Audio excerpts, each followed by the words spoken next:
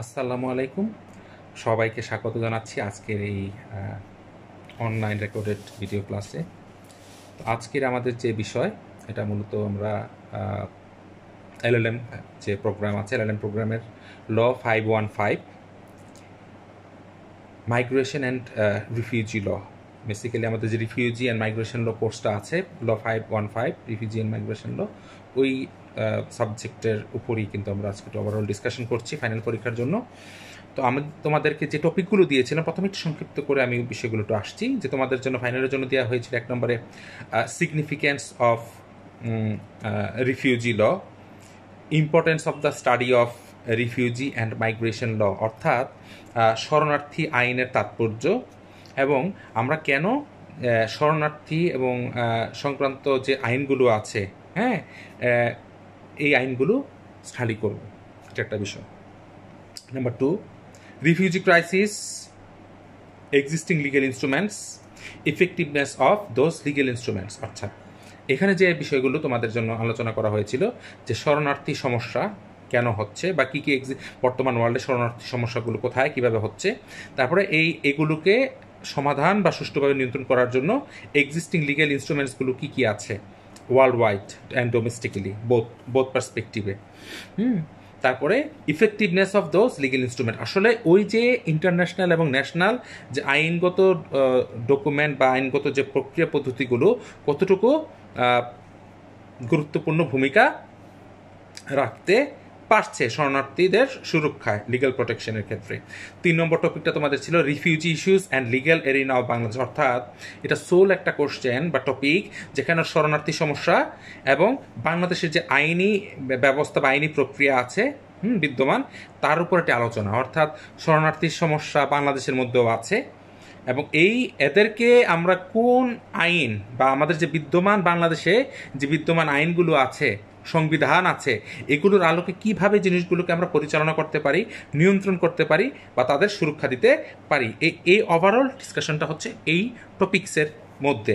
চার number topic ছিল refugee and stateless person difference difference between refugee and stateless person and current situation of the world অর্থাৎ এই topic আলোচনা হয়েছে যে শরণার্থী এবং রাষ্ট্রবিহীন নাগরিক বলতে আমরা কি বুঝি? শরণার্থী ও রাষ্ট্রবিহীন নাগরিকের মধ্যে পার্থক্য এবং তা, বর্তমান অবস্থায় বিশ্বে এই শরণার্থী এবং রাষ্ট্রবিহীন নাগরিকদের জন্য কি ধরনের ব্যবস্থা আছে বা তারা সুরক্ষার জন্য, আইনগত সুরক্ষার জন্য কি কি করা হচ্ছে, এটার উপর একটি সোল discussion. Number five role of United Nation regarding protection of refugee and stateless person অর্থাৎ, আমাদের শরণার্থী এবং রাষ্ট্রবিহীন নাগরিকদের সুরক্ষায় জাতিসংঘের ভূমিকা। মূল কথা হচ্ছে ইউনাইটেড নেশন বা জাতিসংঘ তাদের সুরক্ষায় তার ভূমিকাটা কি? এখন ভূমিকাটা তোমরা তোমাদের মতো করে বোথ সাইডে হতে পারে নেগেটিভ হতে পারে পজিটিভ হতে পারে, আবার মিক্স হাইব্রিডও হতে পারে, এরকম। এক কেউ কোনো স্টুডেন্ট হয়তো জাতিসংঘের ভূমিকাগুলোকে একবারে শুধু নেগেটিভ নেগেটিভ এক্সাম্পল দিয়ে বলবে যে না, তারা ব্যর্থ হয়েছে। হ্যাঁ? আবার আরেক পক্ষ বলতে পারে এরকম ভাবে যে না, তারা সফল হয়েছে বিভিন্ন এক্সাম্পল নিয়ে এসে। আবার অনেকে বোধ দুটাকেই নেগেটিভ পজিটিভ দুটাকে ব্যালেন্স করে বলে লাস্টে নিজের মতো করে একটা ওপিনিয়ন দিবে জাতিসংঘের ভূমিকা নিয়ে। যে লাস্ট যে টপিক টপিকটা ছিল laws relating to migrants impact of UNHCR অর্থাৎ এ মাইগ্রেন্ট হুম, দেশান্তর এক দেশ থেকে আরেক দেশে মানুষ চলে যাচ্ছে হ্যাঁ? এক দেশ থেকে আরেক দেশে মানুষ চলে যাচ্ছে, এই সংক্রান্ত আইনগুলো কি? এবং আমাদের ইউএনএইচসিআর যে আছে, হুম, United Nation High Commissioner for refugees শরণার্থীদের ইউএনএচএর যে আছে ইউএনএসসিআর ওটার ব্রাঞ্চ কিন্তু বাংলাদেশেও আছে, প্রত্যেকটা রাষ্ট্রেই আছে। তো এই ইউএনএচসিআর আসলে স্টেটলেস পার্সন বা শরণার্থী রিফিউজিদের জন্য কি ধরনের কাজ করছে এবং কতটুকু সফলভাবে কাজ করছে, এগুলি হচ্ছে আলোচনার বিষয়। এখন আমি তোমাদেরকে এই ওভারঅল ডিসকাশনের মধ্যে আসছি। যেমন কিছু টপিক আমরা মিড টার্মে অলরেডি পড়েছি ওগুলো আমার মনে হয় না যে বিস্তারিত আলোচনার দরকার আছে। তো তারপরও আমি সংক্ষেপে বলে যাচ্ছি যে, প্রথম যে টপিকটা আছে, যে রিফিউজি কারা এবং এই রিফিউজি লয়ের তাৎপর্য, শরণার্থী আইনের কেন গুরুত্ব রয়েছে এবং আমাদের রিফিউজি আইনের কেন আমাদের স্টাডি করা দরকার? তো এই ক্ষেত্রে তোমরা প্রথমে এই টপিকের জন্য সুন্দর করে প্রথমে ইন্ট্রোডাকশনে বলবা যে রিফিউজি বলতে আমরা আসলে কি বুঝি, কারা কারা রিফিউজি হয় ক্যারেক্টারিস্টিক্সগুলো কি, এবং রিফিউজি আইনটা কি? প্রথমে বলব রিফিউজি কি?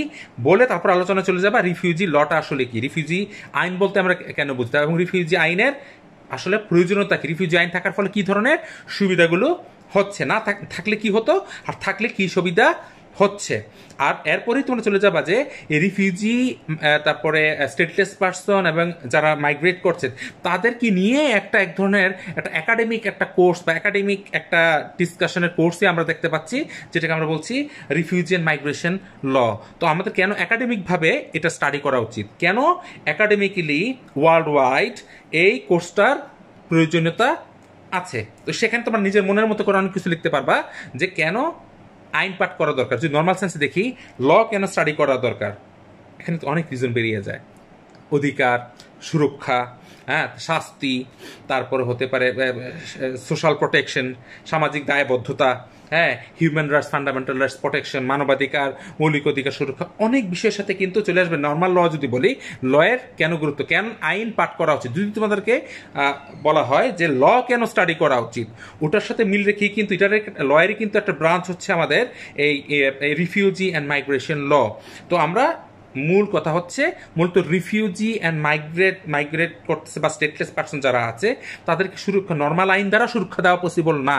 কারণ এ তাদের বিষয়গুলো একটু বিশেষ ধরনের স্পেশালাইজেশন আছে তাদের ইস্যুসগুলোর ক্ষেত্রে এবং তাদের নেচারটা কিন্তু ইন্টারন্যাশনাল ইন নেচার তাদের যে অ্যাক্টিভিটিস পুরো তাদের যে পুরো সামগ্রিক অবস্থান, এটা কিন্তু ডোমেস্টিক অ্যাপ্রোচ দিয়ে এটাকে আমরা সমাধান করতে পারব না। তো সেই ক্ষেত্রে যেহেতু এটা ইন্টারন্যাশনাল ইন নেচার সো এটার বিশেষ কিছু দিকও আছে হ্যাঁ ইউনিভার্সাল ইউনিভার্সাল ক্যারেক্টারিস্টিক্স এটার মধ্যে আছে। তো এই ক্ষেত্রে এটার জন্য স্পেশালাইজড নলেজ ক্রিয়েট করা দরকার নলেজ স্টাডি করা দরকার রিসার্চ করা দরকার। এবং এই প্রবলেমটা যেহেতু ওয়ার্ল্ড ওয়াইড সব জায়গায় কম বেশি আছে, তো এই কারণে প্রত্যেকটা রাষ্ট্রেরই যারা এই আইন নিয়ে কাজ করতে চায় তাদের এই নলেজটা গ্যাদার করতে হবে। একুয়ার করতে হবে। এর জন্যই সবার যারা এই এই ফিল্ডে কাজ করতে চায় রিফিউজি মাইগ্রেশন বা স্টেটলেস পার্সনদের নিয়ে কাজ করতে চায়, তাদের এটা জানা দরকার এবং তাদের ইস্যুসগুলো কিন্তু অবশ্যই হিউম্যানিটেরিয়ান গ্রাউন্ড এবং হিউম্যান রাইটস ফান্ডামেন্টাল রাইটসের বিষয়গুলো কিন্তু তাদের সাথে রিলেট হয়ে যায়। তো এই যখনই হিউম্যান রাইটস ফান্ডামেন্টাল রাইটসের বিষয়গুলো চলে আসে, তাদের সাথে তো অবশ্যই তখন আরও এটাকে ফার্দার স্টাডি করার একটা প্রয়োজনীয়তা বা এটাকে ইনকোয়ারি করার একটা প্রয়োজনীয়তা দেখা দেয়। এবং ওই বিষয়গুলি কিন্তু আমরা সলিউশন পাবো যদি আমরা স্টাডি করি ডেপথ স্টাডি করি, আমাদের রিফিউজি মাইগ্রেশন লগুলো ডেপথ স্টাডি করি, তাহলে কিন্তু বিষয়গুলো আমরা ক্লিয়ারলি বুঝতে পারব, জানতে পারব এবং যে কোনো ধরনের যে ক্রাইসিস হচ্ছে তাদের নিয়ে রিফিউজি এবং বা মাইগ্রেট রিলেটেড বা স্টেটলেস পার্সনদের নিয়ে ইস্যুসগুলো জানতে পারব, তাদের পিছনের ব্যাকগ্রাউন্ড জানতে পারব এবং তাদের জন্য কোনো লিগ্যাল প্রোটেকশন কীভাবে দেওয়া যায়, ওইটার লিগ্যাল সলিউশনগুলো কীভাবে আসবে, আমরা কিন্তু এই এই সাবজেক্ট স্টাডি করলে বুঝতে পারি। এর সাথে তোমরা আরও অনেক কিছু করে নিতে পারো। সো এই স্ট্রাকচারে এই টপিকের এই বিষয়গুলো তোমরা আনবা। দুই নম্বর যে টপিকটা ছিল refugee crisis existing legal instruments effectiveness of those legal instruments অর্থাৎ এখানে আমরা যে জিনিসটা দেখব যে রিফিউজি ক্রাইসিস প্রথমে বলব রিফিউজি কি? ডেফিনেশন দিয়ে শর্ট করে শুরু করে রিফিউজি ক্রাইসিসটা কেন হয়? কেন refugee reason behind the creation of refugee কেন সৃষ্টি হচ্ছে? এই ক্রাইসিসটা কেন তৈরি হচ্ছে?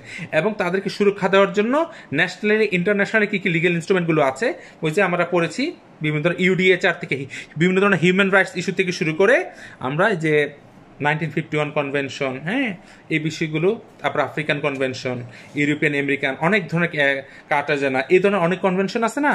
ওই কনভেনশনগুলোই তোমরা এখানে আলোচনা করবা, হুম?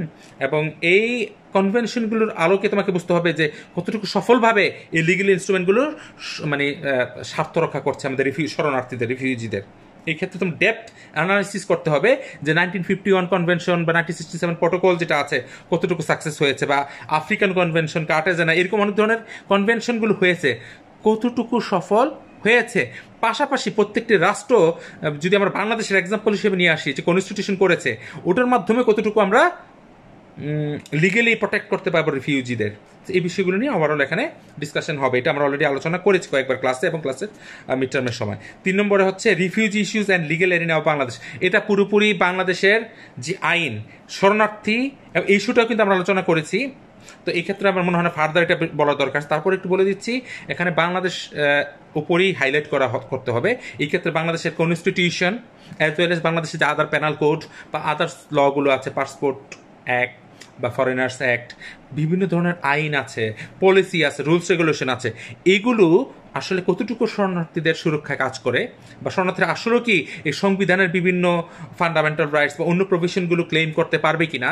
বা আমাদের যে বিদ্যমান যে বিভিন্ন ধরনের লজ আছে পেনাল কোড সাথে যে অন্যান্য লগুলো আছে, যেগুলো নন সিটিজেন অফ বাংলাদেশ তাদের জন্য তাদেরকে আমরা দিতে পারি কিনা, তাদের জন্য ব্যবহার করতে পারি কিনা, এই বিষয়গুলো তোমাদেরকে এখানে আলোচনা করতে হবে।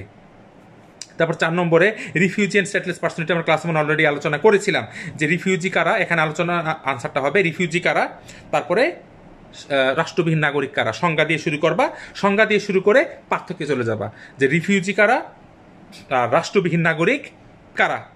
তারপরে পার্থক্য চলে যাবে। তিন থেকে পাঁচটা পার্থক্য দিয়ে দিবা। আর আমরা জানি রিফিউজিদের জন্য নাইনটিন ফিফটি ওয়ান যেমন কনভেনশন আছে, আর স্টেটলেস পার্সনদের জন্য ছিল নাইনটিন ফিফটি ফোরের কনভেনশন এবং রিফিউজি হতে গেলে যে ধরনের ক্রাইটেরিয়া লাগে স্টেটলেস পার্সনের ক্রাইটেরিয়া কিন্তু একরকম না। তবে একটা জায়গায় মিল আছে দুটা পক্ষই মূলত কিন্তু দেখা গেছে যে নিজ দেশ থেকে বা কোনো এক দেশ থেকে তারা নিপীড়িত হয়। তাদেরকে আপন করে নেয় না। তারা কিন্তু তাদের human rights fundamental rights basic norms human rights সবগুলো ভায়োলেট হয়। কিন্তু তাদের লিগ্যাল প্রোটেকশন পাওয়ার সময় নানা ধরনের ক্রাইসিস এটা এটা ক্রিটিক্যাল ইস্যু তৈরি হয়। তো এই জায়গায় কিন্তু আমাদের আইডেন্টিফাই করতে হবে কারা রিফিউজার কাকা, কারা স্টেটলেস পার্সন বিদ্যমান যে লিগেল ইনস্ট্রুমেন্টগুলো আছে, আইন আছে ইন্টারন্যাশনাল কনভেনশন ট্রিটি আছে, ওটার উপর ভিত্তি করেই আমাদের এই আলোচনাটা করতে হবে। হুম? যে এই ক্ষেত্রে বর্তমান বিশ্বে কোথায় কোথায় সমস্যাগুলো হচ্ছে, সমাধানের উপায়গুলো কি? নাম্বার পাঁচে যেটা ছিল রোল অফ ইউনাইটেড নেশন এই ক্ষেত্রে প্রথমে আমরা শুরু করব যে ইউনাইটেড নেশন কি? এটা সবাই আমরা জানি, জাতিসংঘ কি? এবং জাতিসংঘের কাজগুলো কি? সংক্ষেপে পরে লিখব, জাতিসংঘ কি, জাতিসংঘের কাজগুলো কি? তবে এই ক্ষেত্রে পাশাপাশি এখানে আলোচনা করা জাতিসংঘের মাধ্যমে কীভাবে আমাদের হিউম্যান রাইটস এবং হিউম্যানিটেরিয়ান বিভিন্ন যে লিগেল ইনস্ট্রুমেন্টগুলো হয়েছে, জাতিসংঘের মাধ্যমে কিন্তু অনেক কাজ হয়েছে। হুম, তো এই ক্ষেত্রে আমরা এখানে বলব যে ইউনাইটেড নেশন অনেক পজিটিভ রোল প্লে করেছে বিভিন্ন ক্রাইসিস সময়ে। কিন্তু বর্তমান সময় যে হিউম্যানিটেরিয়ান বা যে আমাদের রিফিউজি ক্রাইসিস হচ্ছে স্টেটলেস পার্সনদের ক্রাইসিস হচ্ছে। আমরা মায়ানমারের কথা বলি, আমরা আফ্রিকান ইস্যুসগুলোতে চলে যাই ইউরোপের কিছু কিছু কান্ট্রিসে যদি চলে যাই, ওইখানে যে এই ধরনের প্রবলেমগুলো হচ্ছে, এই ক্ষেত্রে জাতিসংঘ কি ভূমিকা রাখছে? এবং মূলত কিন্তু আসলে এই ওয়ারের কারণে, যুদ্ধের কারণেই কিন্তু অনেক সময় এই মানুষ রিফিউজি বা স্টেটলেস পার্সন এই ক্যাটাগরিগুলো ক্যাটাগরিগুলো সৃষ্টি হয়। মূলত যদি যুদ্ধ বন্ধ করা যায় ওয়ার যদি আমরা বন্ধ করতে পারি, জাতিসংঘ যদি ওয়ার বন্ধ করার ক্ষেত্রে কোনো বড় ভূমিকা রাখতে পারে, সেক্ষেত্রে অটোমেটিক্যালি কিন্তু রিফিউজি এবং স্টেটলেস পার্সনদের প্রবলেমটাও মোটামুটি বড় অংশে কিন্তু সলভ হয়ে যাওয়ার কথা। এর বাইরেও টুকটাক অন্যান্য বিষয় থাকতে পারে পলিটিক্যাল ক্ল্যাশ বা অন্য রিজনও থাকতে পারে ডোমেস্টিক কিছু রিজনও থাকতে পারে। তো এই ক্ষেত্রে জাতিসংঘ কিন্তু শক্ত ভূমিকা, কিছু কিছু জায়গায় শক্ত দেখেছি, আবার কিছু জায়গায় আমরা কিন্তু সেরকম কিছু জোরালো ভূমিকা স্ট্রং কোনো মেজারমেন্ট আমরা পাইনি। যদি বাংলাদেশের কথা এক্সাম্পলে ধরি, যে মায়ানমার থেকে এখানে এসছে, এই ক্ষেত্রে জাতিসংঘের কি ভূমিকা ছিল? তো যদিও জাতিসংঘের যে আমাদের ইউএনএইচসিআর তারা সহযোগিতা করছে, বিভিন্ন রাষ্ট্র সহযোগিতা করছে। জাতিসংঘ এই ক্ষেত্রে আরও কি জোরালো ভূমিকা রাখার কোনো সম্ভাবনা ছিল কি না তোমার কি মনে হয়? এই মতামতগুলো এই জায়গায় নিয়ে আসার চেষ্টা করবা। আর লাস্টে যে টপিকটা ছিল laws relating to migrants impact of UNHCR এই ক্ষেত্রে বলা হচ্ছে, কারা মাইগ্রেন্ট এক দেশ থেকে আর দেশে যারা চলে যাচ্ছে। দেশান্তর দেশান্তরী হয়ে যায় দেশ ছেড়ে, হুম? এই দেশান্তরের ভিতরে বিভিন্ন ধরনের আইন আসতে পারে, এগুলো সংক্ষিপ্ত আলোচনা করা। আর মূলত ইউএনএইচসিআর এর কবে হয়েছে ইউএনএইচসিআর এর কাজটা কি, ইউএনএইচসিআর বাংলাদেশে কি ভূমিকা রাখছে, এগুলো শর্ট নোট, নোটের মতো তৈরি করা। তো লাস্টে যে টপিকটা এটা মূলত আমরা শর্ট নোটের মতো যে লগুলোর নাম লিখব ইন্টারন্যাশনাল ইনস্ট্রুমেন্টগুলো ল রিলেটিংস টু মাইগ্রেন্টস এবং ইউএনএইচসিআর এর ভূমিকা এস্টাবলিশমেন্ট এবং এর ভূমিকা। এই তো এগুলো নিয়ে আমরা মোটামুটি ফাইনাল পরীক্ষায় অবতীর্ণ হব। আমি এই রিলেটেড আমাদের ফাইনাল সিলেবাস রিলেটেড বিভিন্ন লিঙ্ক ডকুমেন্টস আমি টাইম টু টাইম তোমাদের WhatsApp Facebook law students forum বিভিন্ন জায়গায় আমি শেয়ার করে দিব, ওখান থেকে ডাউনলোড করে নিবে। আর আমাদের ফার্দার যে আমাদের পরীক্ষার যে সিস্টেমটা হবে অনলাইনে ওটা তোমাদেরকে পরবর্তীতে আমরা অলরেডি নোটিস করে তোমাদেরকে জানিয়ে দেওয়া হয়েছে। তো ওই সব তোমরা প্রিপারেশন নাও এবং আমাদের পরবর্তী ক্লাসে হয়তো বা আমরা আরও সুস্পষ্টভাবে তোমাদেরকে পরীক্ষা এবং আলোচনা টপিকসগুলো নিয়ে বিস্তারিত দিক নির্দেশনা গাইডলাইন দিতে পারব। তো আজকের মতো এখানেই সংক্ষিপ্তভাবে তোমাদের সেই ওভারঅল ডিসকাশনটা করলাম, যাতে একটা ধারণা হয় তোমাদের আসন্ন আমার কোর্সে law five one five refugee and migration লয়ের কোর্সের উপর একটা সামগ্রিক ধারণা দেওয়ার জন্য আজকের এই ক্লাসটি নেওয়া। তো আমার মনে হয় আজকের মতো এখানেই শেষ করছি। ধন্যবাদ সবাইকে। সবাই ভালো থাকো, নিরাপদে থাকো। ধন্যবাদ।